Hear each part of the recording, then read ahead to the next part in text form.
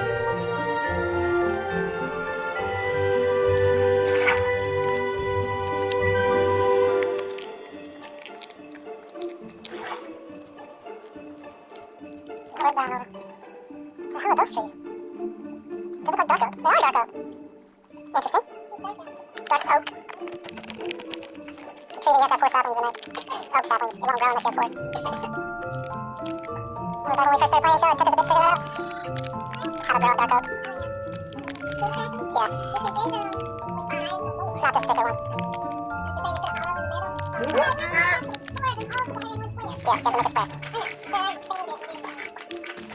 What's worse is it doesn't always drop four saplings when you farm it. So a lot of times you literally need to have a forest near you, otherwise you won't be able to replenish your supplies. Yeah, eventually it'll kill off, unless you have a supply near you. What I mean, when you destroy the tree, it doesn't always drop enough saplings. Yeah, Yeah.